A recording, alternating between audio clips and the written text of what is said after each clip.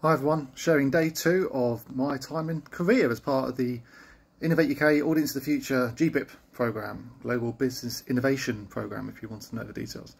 Uh, so today we started off by having a look at SK Telecom. SK Telecom is a big uh, telecom provider here in the uh, in, in, Korea. We uh, weren't too sure what to expect. We thought maybe they'd show us some of their work on 5G and how they're using data and communication to get in touch with uh, their, their customers better. What they actually showed us was uh, a very strange experience uh, that showed what they think the future is going to look like. It's kind of the uh, the 25 years from now future experience. It would have fit in perfectly well at Disney World as part of the Epcot Centre. It was brilliant actually. We uh, were taking a little journey through space uh, using a Hyperloop to start with to go around the Earth, up into space. Involved in some medical procedures, trying to help somebody save their knee that broken, and then back down to Earth to go into a uh, uh, an underwater uh, city that they built. The whole thing was an immersive experience. You had uh, some very exciting technology from today that was being used to describe what might be happening tomorrow.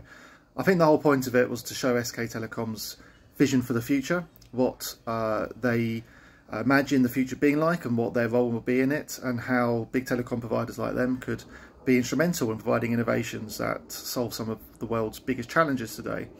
Uh, there were some odd moments like you know a spaceship dodging space debris and you see an old space shuttle up there in space which is impossible because they're not launching them in the future because they've decontinued them.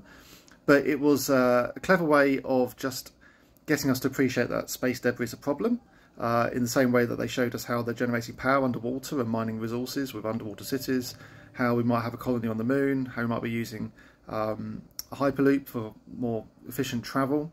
Uh, the whole thing was was very cleverly done, and as an experience, you know, thought this is this has had a lot of money spent on it, and uh, what a good way to try to show maybe not your customers. I doubt many of them get to see it, but certainly your investors and VIPs to the country to come in and understand what SK Telecom is trying to do. We spent the afternoon at KETI. Uh, KETI is the Korean uh, Electronics and Technology Institute, and we got to meet all of these amazing researchers developing innovative new technologies in XR, digital humans, content, uh, holographics.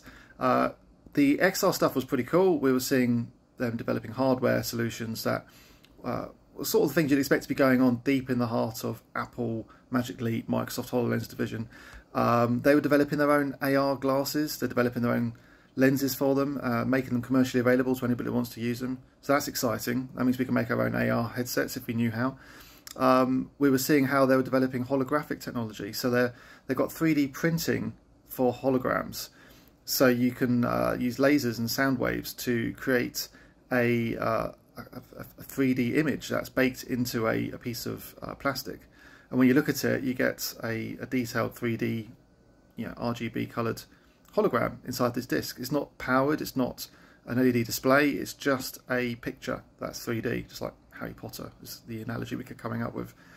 Uh, they had all sorts of cool technology that was, you know, looking at how they could bend light to make uh, HUDs for cars and, and airplanes and jet fighters. Uh, we saw some really cool motion capture equipment, which got me very excited uh, because we've got our exciting motion capture streaming technology that allows people to, to stream low latency data from a motion capture studio to anywhere in the world. Um, and we see this sort of motion capture technology, which is an IMU based system, so inertial motion unit, uh, lots of little magnets spaced around the body, uses only six magnets to do an entire body capture, which is less than I've seen on anything else. Uh, we thought that's quite a cool technology that might work uh, in the applications that we might use at Copper Candle, such as stitching into costumes for a piece of live theatre, or maybe integrating it into a, uh, a very simple motion capture suit that people could have at home.